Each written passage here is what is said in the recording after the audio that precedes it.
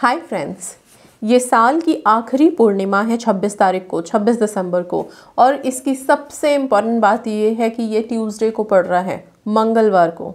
तो अब जब ये मंगलवार को पड़ रहा है तो आपको एक बात बता दूँ 2024 जो ईयर है, वो सैटन गवर्नड है ओके शनि का साल है। अब शनि को अगर कोई कंट्रोल कर सकता है तो सिर्फ़ बजरंग बली अपनी अपनी विशेष के लिए आप अभी इस लास्ट पूर्णिमा जो साल की है, जो मंगलवार को पड़ रही है, इसको आप हनुमान जी के नामों के साथ इस्तेमाल करेंगे।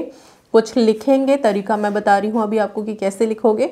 अपनी अपनी जितनी भी विशेज़ हैं मल्टीपल विशेज़ आप सारा कुछ लिखिए, ओके? okay? और मैं क्यों बोल रही हूँ कि ये काफ़ी इफ़ेक्टिव रहने वाला है, क्योंकि बहुत से लोगों ने, एक बार मैंने टेक्निक डाली थी किसी पूर्णिमा पे सेम चीज़ करने के लिए, मेरे ख्याल से हनुमान जयंती था उस टाइम पे। और जो लेटर बोला था लिखने के लिए, उससे काफ़ी ज़्यादा मैनिफेस्टेशन ज़्यादा मैनिफेस्टेशंस हुई हैं। ओके एक ने मुझे अपना लेटर का पूरा एक फ़ोटो आई मीन स्क्रीनशॉट भेजा है लेटर का। और उस लेटर में यस जैसे जैसे मैंने बताया था कि जय श्री राम से अपने लेटर की शुरुआत कीजिए ओम हनुमते नमः मंत्र लिखिए। इसके बाद बजरंग बली को आप अपने लिए लेटर लिखिए। वो मैनिफेस्टेशन उनकी डन हो गई है सक्सेस स्टोरी भेजी है उन्होंने। इसीलिए इतने विश्वास के साथ कह रही हूँ कि ये साल का आखिरी जो पूर्णिमा है, इसको मिस नहीं करना है आप लोगों को। इस बार आप क्या करोगे? इस बार आप अगेन हनुमान जी के बारह नामों के साथ स्क्रिप्टिंग करोगे। ओके, और उनके बारह नाम कौन से हैं? हनुमान, अंजनी सुत, वायुपुत्र, महाबल रामेश फाल्गुन सखा, पिंगाक्ष, अमित विक्रम, उददी क्रमण, सीता शोक विनाशन, लक्ष्मण प्राणदाता, दश ग्रीव दर्पहा।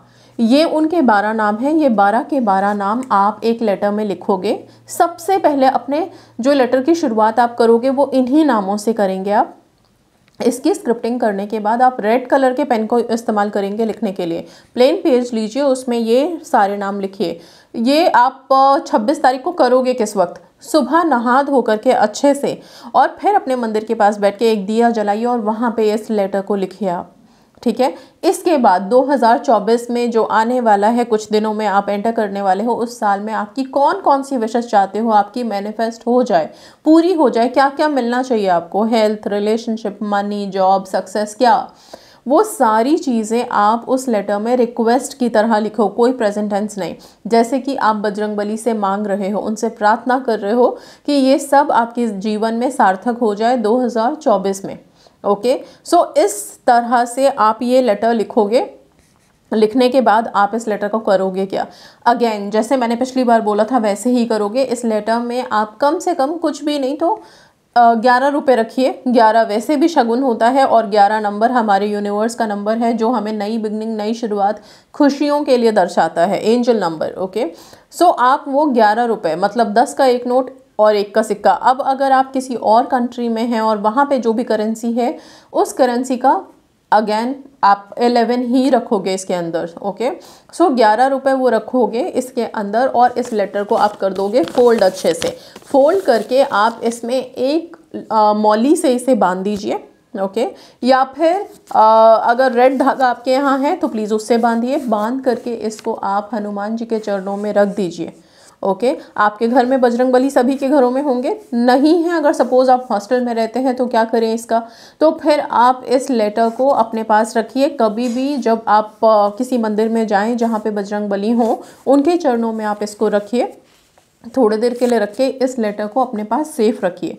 जैसे जैसे आपकी विशेज़ मैनिफेस्ट होने लगेंगी, सारी विशेज़ मैनिफेस्ट हो जाएँगी धीरे धीरे, तब आप इसमें जो पैसे हैं, उसका प्रसाद आप ऑफरिंग जैसे हम कहते हैं ना, सबको ऑफरिंग देते हैं।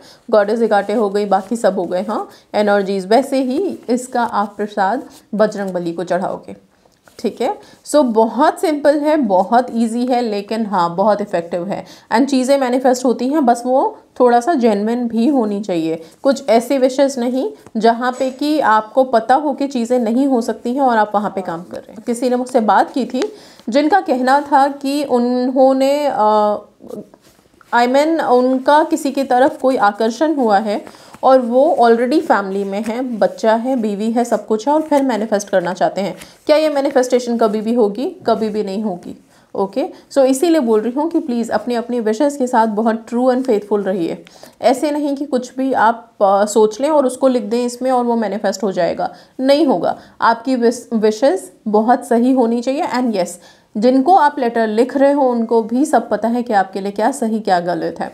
उसी हिसाब से। बट स्टिल आप अपनी जितनी भी विशेज़ हैं लाइक मार्क्स मैनिफेस्ट करने हैं बहुत को जॉब मैनिफेस्ट करना है ओके कॉम्पिटिटिव एग्ज़ाम्स मैनिफेस्ट करने हैं, आगे बढ़ना है, शादी मैनिफेस्ट करनी है, बहुत से लोगों की है कि कोई रिश्ते ही नहीं आ रहे, वो भी लिख सकते हैं, कोई दिक्कत नहीं है ओके आप अपनी मल्टीपल विशेज़ उस लेटर में लिखिए, लिख करके लेटर को यस ओम हनुमत हनुमते नमः से आप बंद करिए। जय श्री राम ज़रूर लिखिए, बिना राम जी के तो हनुमान जी का कोई लेटर सक्सेसफुल हो ही नहीं सकता। वो लिख करके आप इसको लेटर को फोल्ड करके एंड जैसे मैंने बताया है वैसे रखना है। पीरियड्स में क्या इस लेटर को लिख सकते हो? पीरियड्स में आप इस लेटर को नहीं लिखेंगे। पीरियड्स में फिर आप सिंपल नॉर्मल सी स्क्रिप्टिंग कीजिए। जब आप पीरियड से ओवर हो जाए, तब फिर किसी मंगलवार को आप सेम ऐसे ही लेटर लिख करके रख सकते हैं। बट ये पूर्णिमा है तो पूर्णिमा के दिन आप बजरंग बली का ये काम ज़रूर करेंगे। इसके अलावा यस फुल मून है।